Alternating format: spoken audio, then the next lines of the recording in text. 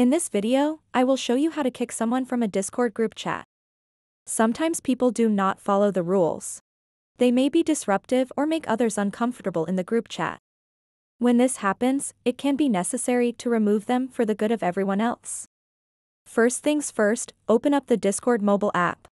Once you've opened the app, tap on the arrow icon, located at the top left corner of your screen. Next, go ahead and tap on the messages icon, this will take you to your direct messages.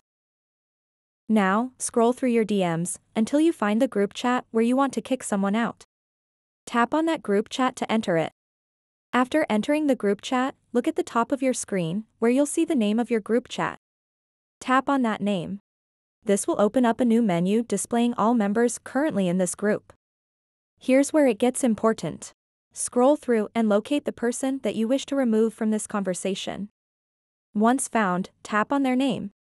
At this point, look for three little dots, located at the top right corner of your screen. Tap those dots, and several options will appear.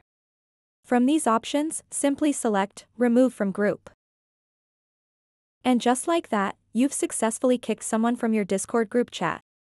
So that wraps up this tutorial. If you have any questions about this whole process, please let me know in the comments section below. And if this video helped you out, please give it a big thumbs up and subscribe to this channel for more tutorial videos like this one. Thank you so much for watching and have a good day.